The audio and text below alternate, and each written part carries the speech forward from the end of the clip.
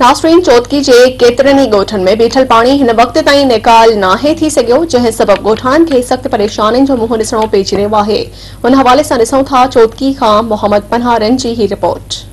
चौधरी भरसा गोठ अली मुराद जलपाणी में मौजूद आ बरसात के खत्म थे एक महीनो गुजरी हुआ लेकिन इन गोठान का अंज घट न थे इन गोठ के सिमनालो मेन सिमनालो एलबीओ आहे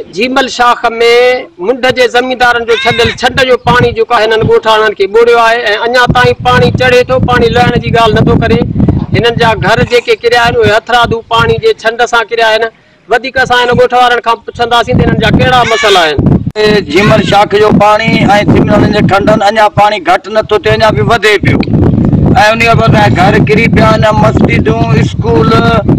जो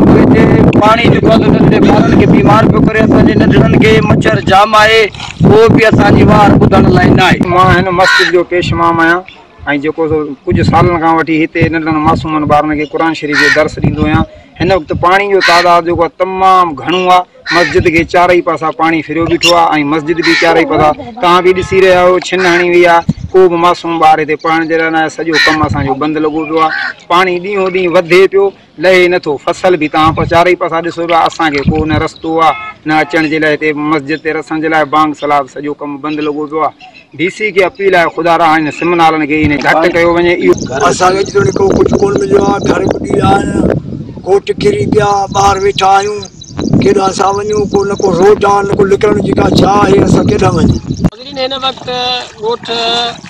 अली जान जलवाणी जे रहवासियुनि जा तव्हां वीचार ॿुधा हिननि जा जेके अहंचा उहे हिननि ॿुधाया